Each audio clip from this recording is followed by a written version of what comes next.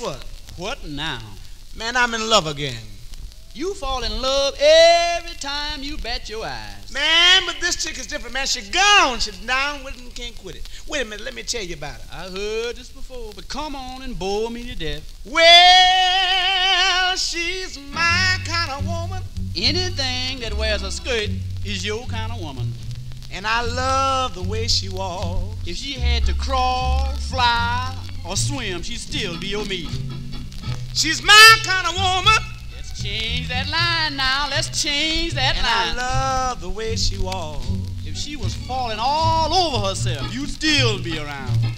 But she speaks my kind of language. Is that a language you speak? And I just love to hear her talk. The last chick you had was named Mumbles, and it still didn't make a difference.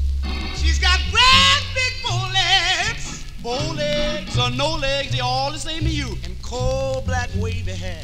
How about that bald-headed chick you had over in Toledo? Hmm?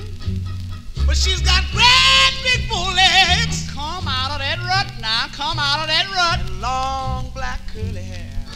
Alice Helen would do you just as well.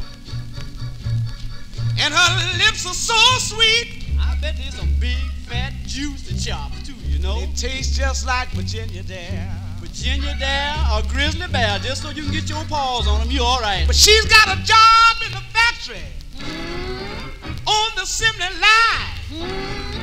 All the money she makes, every dime of it is mine. Get on with it, get on I get my meals in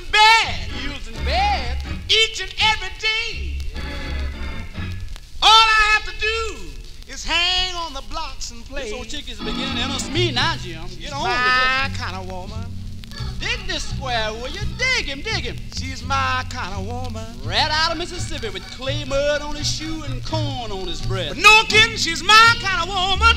Yeah? And I want the world to know.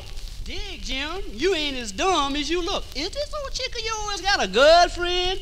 Hmm.